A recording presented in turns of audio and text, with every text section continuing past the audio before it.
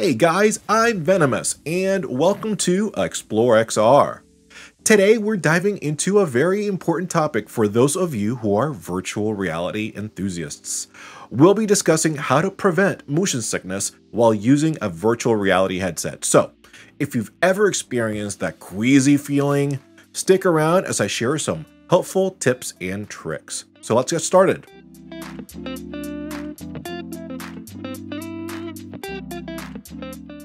Before we jump into the solutions, let's first understand why motion sickness occurs in virtual reality.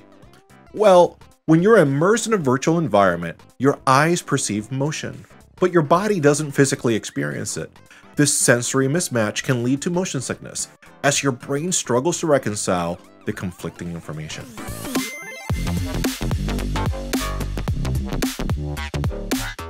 One effective way to prevent motion sickness is to use a fan.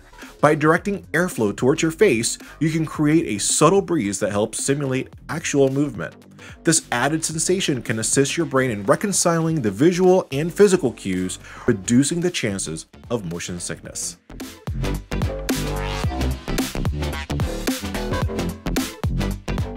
Many virtual reality games offer a tunnel vision or comfort settings. Enabling these options narrow your peripheral vision, focusing your attention on the central area of the screen.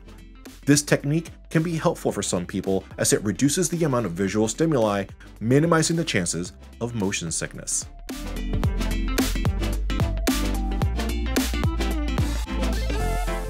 Ginger has long been known for its anti-nausea properties, and it can also help with motion sickness in virtual reality. Consuming ginger in various forms such as ginger candies, ginger tea, or even ginger supplements can potentially alleviate the symptoms. However, remember that individual results may vary, so give it a try and see if it's something that will work for you.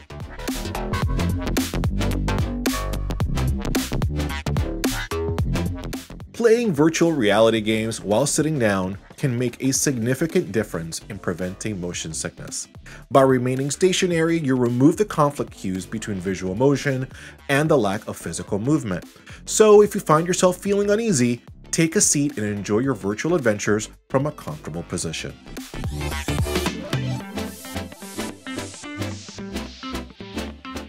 It's crucial that you listen to your body while using virtual reality. If you start feeling motion sickness symptoms such as dizziness, sweating, or nausea, take a break. Don't push through it, as forcing yourself can worsen the discomfort and prolong your recovery time. Your well being is more important than pushing the limits.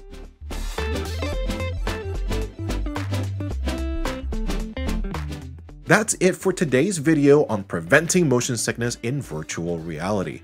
Remember, it's all about finding what works best for you and taking care of your well-being.